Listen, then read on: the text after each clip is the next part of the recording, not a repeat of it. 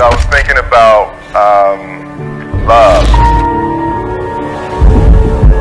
I was thinking about how difficult it is for us to find and to to maintain the love that we all yearn for.